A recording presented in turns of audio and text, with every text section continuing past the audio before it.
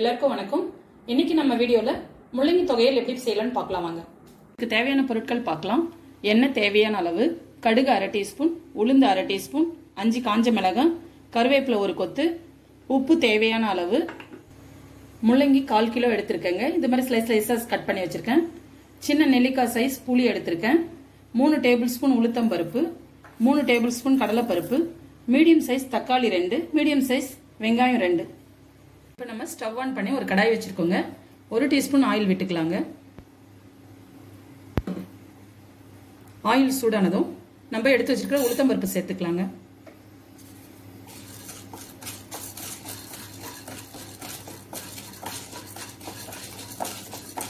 நல்லா பொன்னிறமாக வறுத்துக்கலாங்க.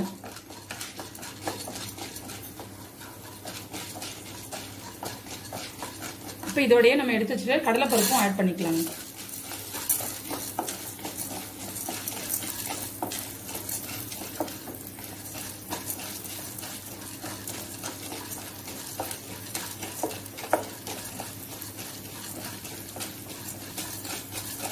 பாருங்க இந்த ஸ்டேஜுக்கு வந்ததும் நம்ம எடுத்து வச்சுட்டு காஞ்ச மிளகாய் சேர்த்துக்கலாம். சிம்லேயே வச்சுக்கோங்க. சிம்ல வச்சு நல்லா தீயாம வறுத்துக்கோங்க. இப்போ நம்ம எடுத்து வச்சிருக்கிற புளியும் சேர்த்துக்கலாங்க.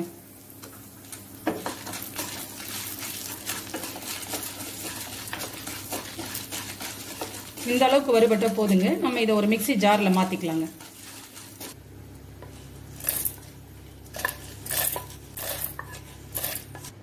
இப்போ நம்ம அதே கடாயில் திரும்ப ஒரு டீஸ்பூன் எண்ணெய் விட்டுக்கலாங்க. எண்ணெய் விட்டு எண்ணெய் சூடானதும் நம்ம கட் பண்ணி வச்சிருக்கிற வெங்காயம் சேர்த்துக்கலாங்க அதில்.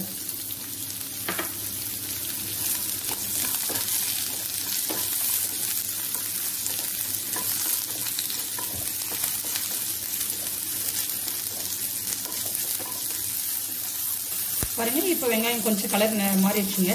இப்போ நம்ம கட் பண்ணி வச்சிருக்கிற தக்காளி சேர்த்துக்கலாங்க.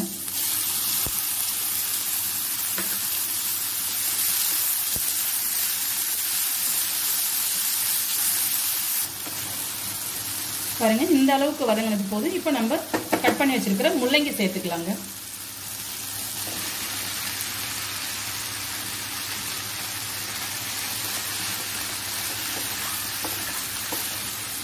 ஒரு அஞ்சு நிமிஷம் நல்லா வதக்கிக்கலாங்க.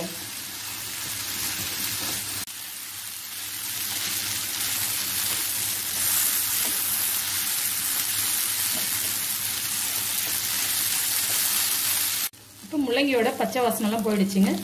இதை நம்ம மிக்சி ஜாரில் சேர்த்துக்கலாங்க.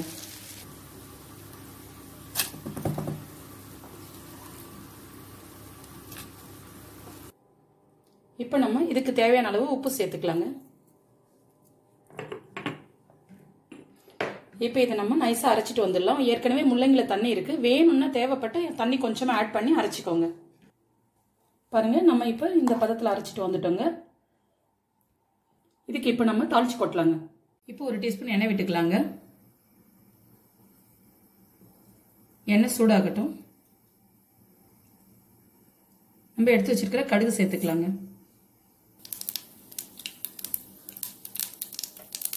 கடுகு பொரிஞ்சதும் நம்ம உளுத்தம்பருப்பு சேர்த்துக்கலாங்க.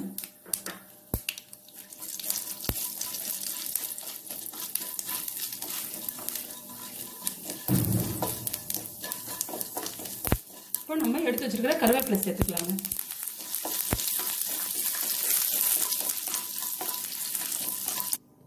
இப்போ நம்ம தாளிச்சதை சேர்த்துக்கலாங்க. இப்போ நம்மளோட முள்ளங்கி துவையல் ரெடி ஆயிடுச்சுங்க. இந்த முள்ளங்கியோட வாசனையை நிறைய பேருக்கு பிடிக்காதுங்க. அப்படி பிடிக்காதவங்களுக்கு கூட இந்த தொகையல் சாப்பிட்டாங்கன்னா நல்லா பிடிச்சிருங்க.